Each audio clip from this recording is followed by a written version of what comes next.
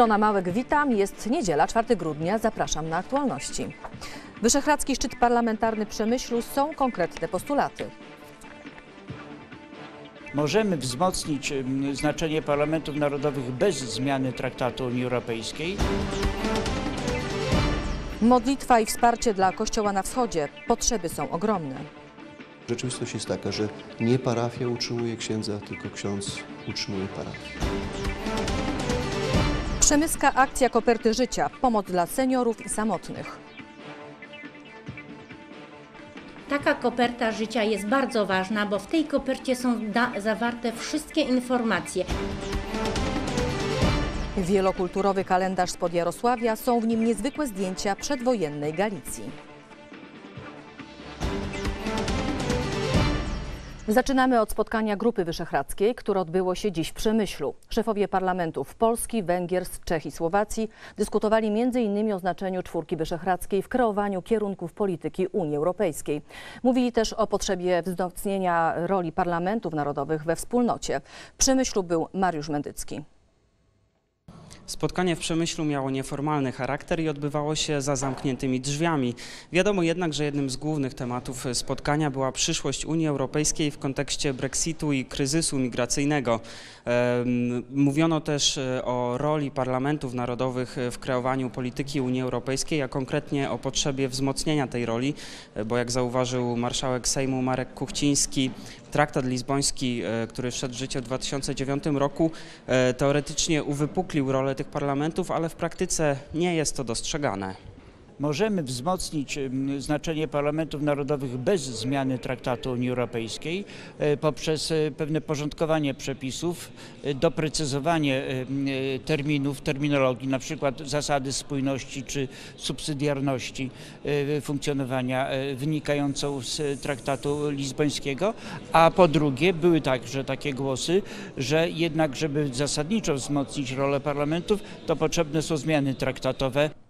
Przewodniczący Węgierskiego Zgromadzenia Narodowego Laszlo e, Kower mówił z kolei o tym, że Unia Europejska przeżywa teraz e, kryzys tożsamości, e, a rolą czwórki wyszehradzkiej jest to, żeby przypominać e, o podstawowych e, wartościach wspólnoty, które przyświecały jej założycielom.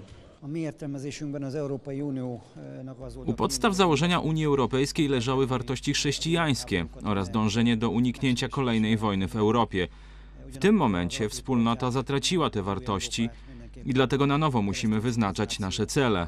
Uważamy, że trzeba ten fundament wzmocnić, tak żebyśmy mogli być równorzędnym partnerem w kreowaniu polityki światowej, na przykład dla Stanów Zjednoczonych.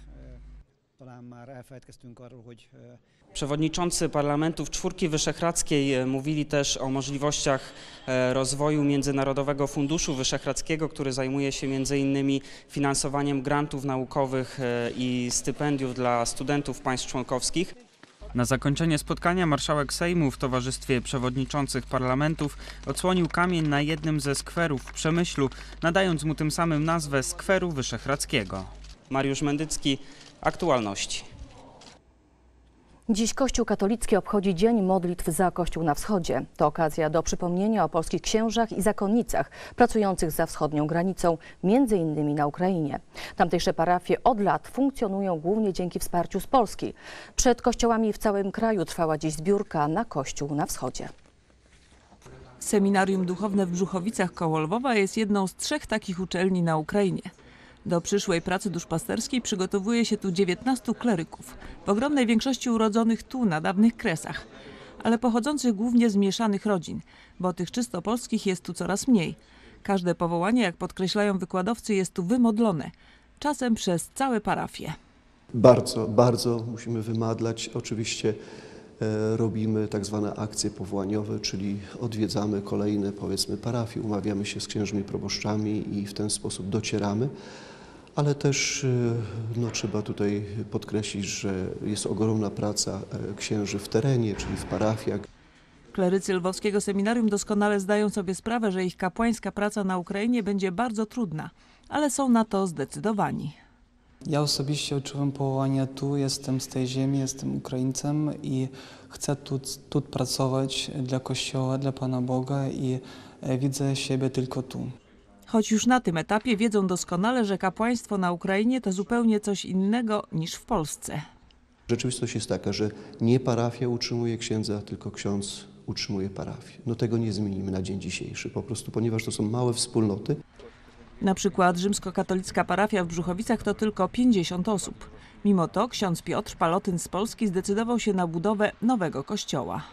Bez wsparcia Polski to naprawdę nie byłoby możliwe nawet myślenie o budowie tego kościoła, ale dzięki temu wsparciu ten kościół, jak widać, się buduje i rośnie. Ksiądz Piotr pracuje na Ukrainie od 17 lat. Wcześniej w okolicach Żytomierza, teraz pod Lwowem. W obu miejscach wsparcie parafian nie wystarcza nawet na bieżące wydatki. Na ile mogą, na, na tyle wspierają. Powiedzmy, miesięcznie zbieram 2000 grywni, to jest jakieś około 300 zł na miesiąc, no ale to jest ich wkład taki mały. Mimo to wszyscy tu są przekonani, że się uda i z pomocą z Polski już w przyszłym roku nowy kościół powstanie. Jak wiele innych ważnych dla rzymskokatolickich wspólnot na Ukrainie, których w sumie jest ponad 800.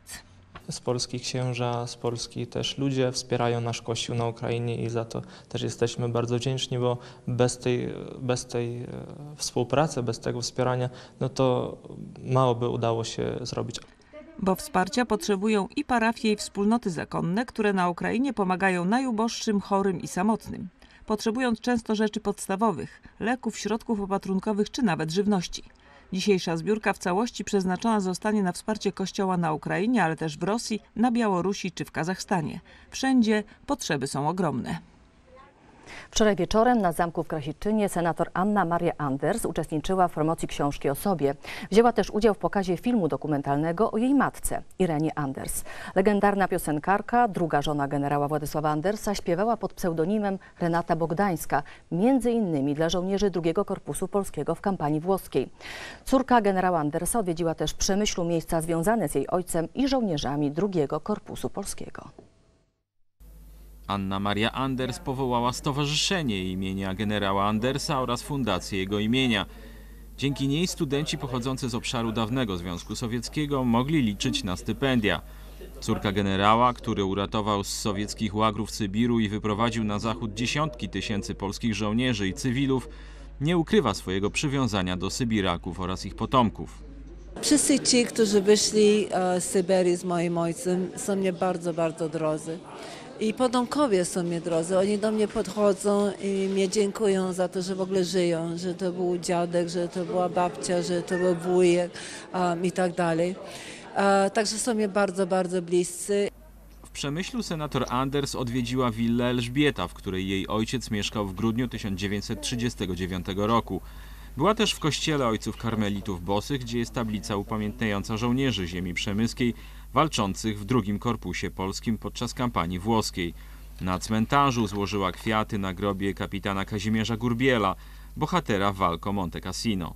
Jestem bardzo wzruszona. Cieszę się, że mogę odwiedzić ten e, takiego wybitnego bohatera. E, wszyscy znamy to zdjęcie, kiedy on e, e, wieszał, stawiał flagę polską na szczycie Monte Cassino. Dla nas wszystkich to jest naprawdę powiedzmy symboliczne. Samorządowcy wręczyli Annie Marii Anders wizerunek Przemyśla i poprosili o promocję miasta w kraju i na świecie. Zostajemy w Przemyślu, bo właśnie tam ruszyła akcja dla przemyskich seniorów pod hasłem Koperty Życia. Osobom starszym, zwłaszcza mieszkającym samotnie, rozdawane są specjalne formularze. Są w nich m.in. informacje o chorobach, zażywanych lekach, ale też o tym, kogo powiadomić w razie potrzeby. Dla służb medycznych to szansa na szybsze udzielenie fachowej pomocy, dla seniorów większe poczucie bezpieczeństwa. Pani Bońkowska, my mamy kopertę, którą my musimy wypełnić. Przede wszystkim muszą być tutaj dane informacyjne o, o Pani. Przede Pani Helena ma konkretny 95 lat i jak mówi ciężkie życie za sobą. Mimo wieku wciąż samodzielnie radzi sobie z codziennymi domowymi pracami. Od blisko dwóch lat wspiera ją opiekunka z Polskiego Komitetu Pomocy Społecznej. Mieszkam sama, tak. I nie mam nikogo zameldowanego, tylko ja jestem tutaj. A dzieci mają już swoje mieszkania.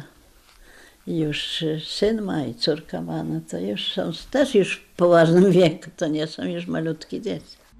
Właśnie dla takich osób koperty życia mają szczególne znaczenie. W specjalnym formularzu wpisuje się wszystkie najważniejsze informacje dotyczące choroby, lekarstw, uczulenia grupy krwi. Formularz można wypełnić samodzielnie, może to zrobić także lekarz rodzinny. Taka koperta życia jest bardzo ważna, bo w tej kopercie są zawarte wszystkie informacje. Jakby nie daj Boże jakiegoś wypadku, to wtedy lekarz wie, jaka jest informacja, na co jest mm, podopieczna moja chora. I ta koperta, najważniejszą rzeczą jest to, że jest w lodówce, w jednym, jedynym miejscu, o którym wszyscy wiemy. Kopertę umieszcza się w lodówce po to, żeby w razie przyjazdu przykład pogotowia ratownicy mogli szybko ją znaleźć i dowiedzieć się, jak skutecznie pomóc, zwłaszcza jeśli osoba jest nieprzytomna. Dla ułatwienia na lodówce, ale też wewnętrznej stronie drzwi wejściowych umieszcza się specjalne naklejki. Ale w kopercie życia, oprócz medycznych, są także inne, nie mniej ważne informacje. Kogo powiadomić w razie potrzeby z bliskich, ewentualnie gdzie pozostawić klucze i co ze zwierzątkami. Starsze osoby mają w, w domu pieski, mają kotki czy też jeszcze inne zwierzątka i ważne jest, żeby też y, była jasna wskazówka, gdzie kto powinien się tym zaopiekować. Samorząd Przemyśla na początek przygotował 500 kopert życia. To pierwsza taka akcja w mieście, dlatego ważne jest, żeby informacje o niej dotarły do zainteresowanych. Pomagają przychodnie, szpitale i stowarzyszenia. Bardzo pozytywny odbiór jest wszystkich stowarzyszeń i zaangażowanie w tą akcję. Myślę, że jak braknie tej pierwszych 500, 500 sztuk, to będzie wykonane kolejne, tak żeby każdy, kto jest zainteresowany, otrzymał taką kopertę do domu.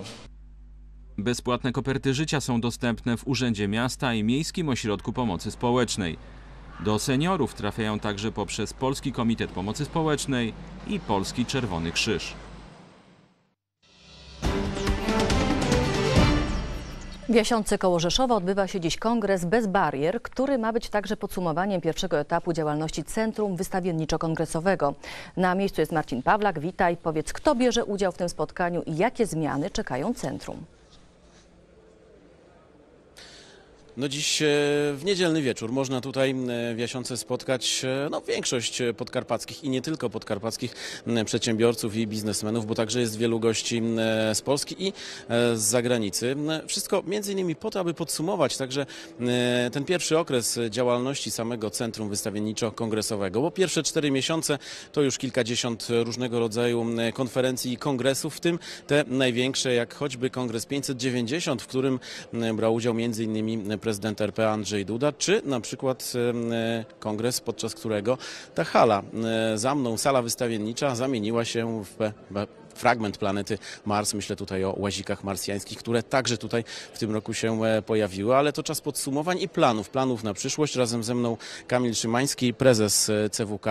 Co w takim razie czeka nas w przyszłym roku, bo o tym dziś także jest mowa. Dzień dobry. Dzisiejszy dzień to święto tego obiektu.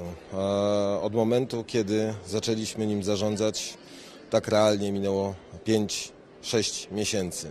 W trakcie tego okresu udało się zorganizować ponad 40 wydarzeń, a to jeszcze nie koniec roku.